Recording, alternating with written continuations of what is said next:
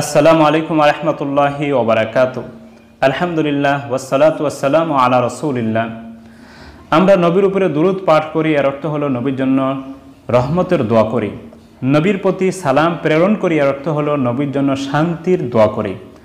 দুরুদ শব্দটি ফার্সি শব্দ, এর আরবি অর্থ হলো সালাত আলান নবী, অর্থাৎ নবীর জন্য রহমতের দোয়া করা। তাই আমরা যখনই সুযোগ পাব নবীর জন্য রহমতের দোয়া করব, শান্তির দোয়া করব। আর সেটাকে বলা হয় দুরুদ এবং সালাম। স্বয়ং আল্লাহ রবুল আলমিন কোরআনুল করিমে ইমানদার ব্যক্তিদেরকে নির্দেশ দিয়েছেন, ইয়া তসলিমা।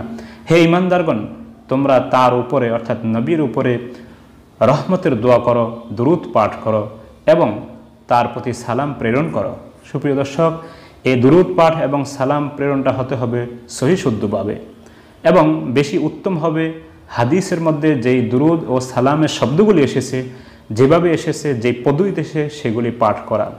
আমাদের সমাজে অনেক ধরনের নামের দুরুদ ছড়িয়ে আছে।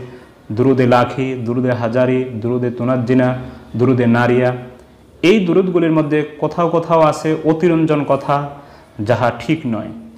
কোনোগুলোর মধ্যে আছে শিরিকমূলক কথা, যাহা একেবারে পরিত্যাজ্য। অতএব এগুলি পড়া যাবে না। মূল কথা হলো যে সমস্ত দুরুদের শুরুতে কোনো নাম আছে, সেগুলি বাদ একমাত্র দুরুদ ইব্রাহিম ছাড়া। দুরুদ ইব্রাহিম যে নামটি, এই নামটি হাদিসে নেই, এটা ওলামায় কেরাম বানিয়েছেন কেন? যেহেতু এটার মধ্যে আমাদের নবী এবং বাকি সকল নবীদের মধ্যে থেকে হজরত ইব্রাহিম আলহি সালাতামের নাম আছে, এই জন্য এটাকে দুরুদ ইব্রাহিম বলা হয়। অতএব নাম দ্বারা যতগুলা দুরুদ আছে, একমাত্র দুরুদ ইব্রাহিম ছাড়া। বাকি আর কোনো দুরুদ পড়া যাবে না। কারণ ওইগুলোর মধ্যে অতিরঞ্জন কথা আছে ওগুলোর মধ্যে বেদাতিমূলক কথা আছে, শিরিকমূলক কথা আছে। দুই একটা হতে পারে হয়তো অর্থ সঠিক, কিন্তু সেটা তো আপনারা বুঝবেন না। তাই ওই ধরনের নাম করা দুরুদগুলি সব বাদ দিতে হবে। একমাত্র দুরুদ ইব্রাহিম, আপনি যদি নাম করাটা পড়তে চান, ইব্রাহিম পড়বেন। এছাড়া আপনি সংক্ষিপ্ত দরুদ পড়তে পারেন, যেটা রাসুল সাল্লাম নিজে শিখিয়েছেন, সেটা হলো আল্লাহ সাল্লি আলা মোহাম্মদ ও আলা আলী মোহাম্মদ। দুরুদ কয়টি? এটার কোনো সংখ্যা নেই। রাসুল সাল্লাহ সাল্লামের জন্য শান্তি ও রহমতের দোয়ার ক্ষেত্রে সেখানে সলাৎ ও সালাম শব্দটি থাকলেই হলো, যদি সেখানে কোনো ধরনের শিরিকমূলক কথা না থাকে এবং অতিরঞ্জন কোনো কথা না থাকে, তাহলে দূরত পাঠ হয়ে যাবে। দূরত পাঠ করতে অজুর প্রয়োজন হয় না এবং বিভিন্ন কাইফিয়াত, বিভিন্ন পদ্ধতির প্রয়োজন হয় না। আপনি শুয়ে বসে সর্বাবস্থা পাঠ করতে পারেন।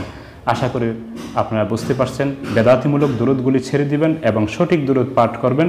নাম দ্বারা যত দূরত আছে, শুধুমাত্র একমাত্র ইব্রাহিম পড়বেন, আর বাকিগুলো একটাও পড়বেন না। সেগুলি পড়লে গুণা হওয়ার সম্ভাবনাই বেশি। বিষয়টি আপনারা খেয়াল রাখবেন। আসসালামু আলাইকুম।